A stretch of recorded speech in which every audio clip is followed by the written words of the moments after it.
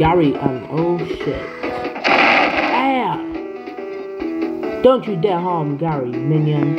You're sending Gary as a as a pet spy. If you guys know what that means, you guys know what that means. You know what I mean? You know what it means.